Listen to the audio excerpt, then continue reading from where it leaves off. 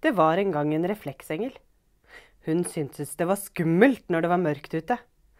Derfor bestemte hun seg for å lyse opp, så det ikke skulle være så skummelt. Men hun visste ikke helt hvordan hun skulle få det til. Hun oppdaget at det var veldig mange som tenkte som henne, men de visste ikke helt hvordan de skulle lyse opp, de heller. Så kom hun plutselig på at når man bruker refleks, er det akkurat som å tenne lys. Og refleksengelen hadde masse reflekser. Et helt fjell. Da kan jeg hjelpe til, tenkte hun. Først delte hun ut reflekser til barna.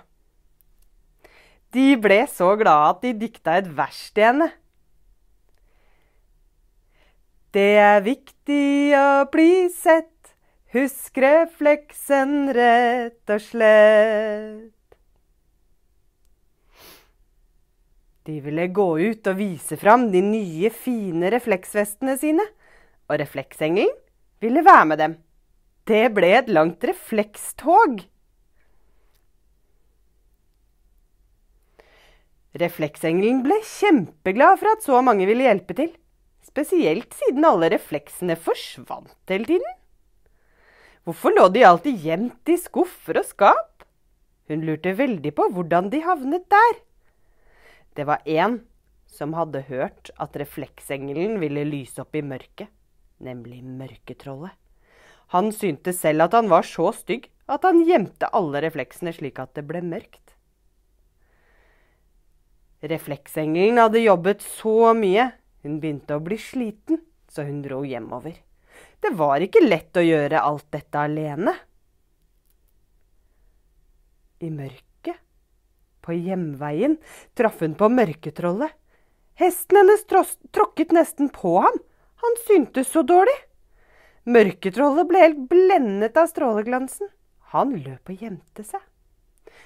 Endelig var refleksengelen kommet hjem og la seg i senga for å sove.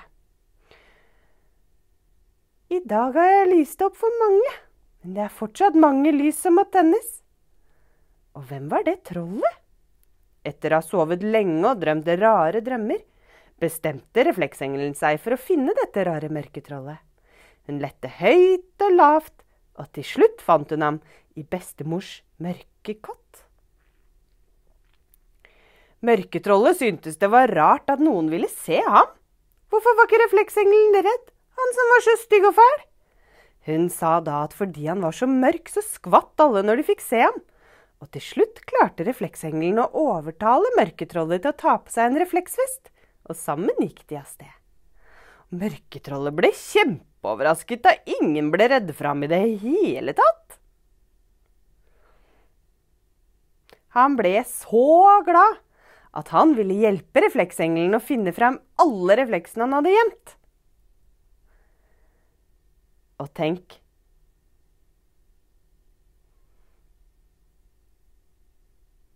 De fløy ut av skuffer og skap. Refleksengelen og mørketrollet ble bestevenner. De tok en refleksdans. Og husk det er viktig å bli sett. Husk refleksen rett og slett.